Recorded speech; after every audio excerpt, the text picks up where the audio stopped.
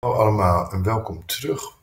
Ik ben Videoot en ik ben een diehard fan van deze mevrouw. Burgemeester Femke Halsema, de allerleukste en allerbeste burgemeester in de hele wijde wereld. En ik ben nog steeds een beetje boos over dat gemekker van geen stijl, dat ze geen, geen marktconforme huur betaalt voor dit, dit, dit monster van een huis. Uh, op de Herengracht, weet je wel, de, de aller, allerduurste straat in heel Nederland. Moet je naar kijken. Dit, zij kan helemaal geen marktconforme betalen, want ze is geen prinses uit Saoedi-Arabië. Wat denk je dat dat kost? Ik ben er echt pissig over. Ik vind het heel flauw. Kinderachtig ook. Maar goed, zij heeft twee kinderen. En die zien er ongeveer zo uit. Tadaa. Ja, twee. Een tweeling heeft. Kijk, als we hier kijken, dan zien we dat burgemeester Halsema in 1966 is geboren. Dat is iets eerder dan ik. Zij is 53 jaar oud. Ik wou dat ik er zo uitzag met 53. Hoe de fuck doet ze dat? Het is niet normaal meer. En op iedere foto ook. Deze mevrouw is ergens vergeten hoe ze er slecht moet uitzien. Dat hebben ze haar niet geleerd. Maar goed, 53 ziet er fantastisch uit. Maar, en ik zal eerst eerlijk zijn, ik ga die leeftijd naderen natuurlijk. Ja, op, op, op mijn leeftijd, en ik heb lang niet zo'n zware baan gehad als zij, en ik heb niet een tweeling moeten baren. Uh, daarna twee baby's, twee peuters, twee kleuters. En die hele zware baan. En ze rookt. Dus wat, wat ik beweer, uh, is dat als burgemeester Halsema drie trappen oploopt na een dag werk met twee zware boodschappentassen, dan is zij gewoon buiten adem. Net zoals ik. Um, terwijl die twee niks aan het doen zijn, weet je wel. Oké, nou, wat, wat staat er voor de deur? Nou, ik, op dit moment leef ik enorm mee met burgemeester Halsema. Want vanaf morgen gaat uh, de tergende marteling de jaarlijkse uh, tergende marteling uh, weer beginnen. Uh, en dat namelijk kerstvakantie. Kerstvakantie. En kerstvakantie is, klinkt natuurlijk hartstikke leuk. Hè? Lekker niet werken, lekker veel eten, lekker, lekker, lekker extra lekker eten, et cetera. maar het betekent ook dat deze twee niet naar school moeten. Dat betekent dat ze de hele dag binnen zitten in die ambtswoning. ik word nu al depressief, je moet er niet aan denken. En goed, en zodra dat soort beesten vakantie hebben, uh, dan gaan ze in een heel ander tempo functioneren, weet je wel. Uh, waar is mijn opladen? Iemand moet. Mag ik geld voor?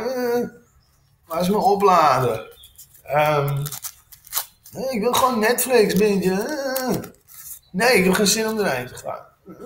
Laat me, ga mijn kamer uit. Oké, en dat twee weken lang bedoel ik. Arme vrouw. Ik vind het echt zielig. Ik heb echt medelijden met haar. Ehm, en in haar geval zal het allemaal nog veel erger zijn. Want echt helemaal vrij zal ze niet zijn. Want er gebeurt natuurlijk iets tijdens de kerstvakantie. Een dronken toerist die doodgaat of iets anders. En kan ze gewoon aan de bak.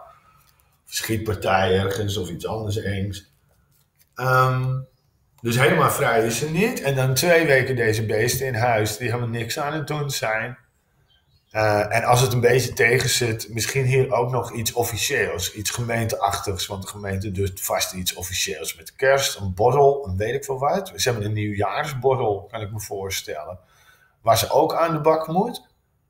Nachtmerrietijd. En misschien familie, dat is helemaal leuk. Weet je. Oh, moeten we, naar, moeten we naar familie? En dan kan ze met haar security ik denk, ik het heel even in te. Dan moet je stomme security. Dus dat, of nog erger, familie die bij jou op visite komt, weet je, kan je, weet ik niet, zou ze een catering bestellen? Of zou ze zelf gaan koken, wat voor acht mensen?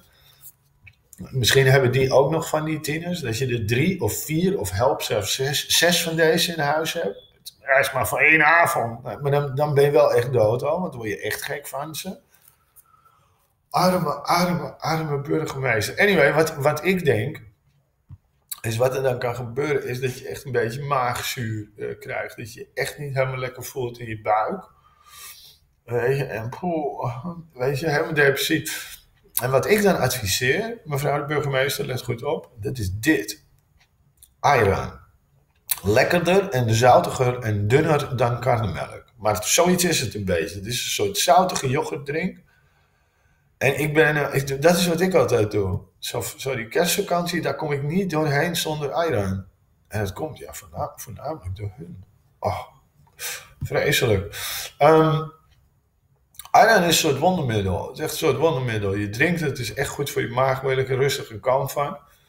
Um, het is echt super. Het is morgens super. Het is middags super. Het is avonds super. Of, of als je iets wat pittigers eet. Uh, of dat je toch een extra paar glaasjes wijn neemt. Omdat je helemaal van hun wordt. Dan adviseer ik, uh, adviseer ik. En ja, god, weet je, er zijn zoveel soorten. Het kost niks. Uh, maar deze vind ik de lekkerste. Die roze, die picnic Ayran. Die is 3,75 is, uh, vind ik te duur. Ik betaal aanzienlijk minder voor een heel treetje. En ik zag, kijk, daar heb je hem. Als je dit truckje ergens ziet rijden, follow that truckje. Want dan kom je uiteindelijk terecht bij zoiets mensen die jou gewoon eidan willen verkopen. En die picknick, zo'n treetje, die zijn het allerlekkerst. Ja, let u op mevrouw de burgemeester. Dat is het, de lekkerste yoghurtdrank die er is. Picnic eidan. Ik zou zeggen, probeer het uit. Ik weet het niet. Ik snap er niks aan. Die kinderen die liggen de hele dag in bed. Stel me niks. Ik weet het, mevrouw de burgemeester. Ik zou zeggen, neem lekker wat eidan. Neem lekker wat ayran. Kan ik echt adviseren. Nou, dat was hem weer. Tot de volgende keer.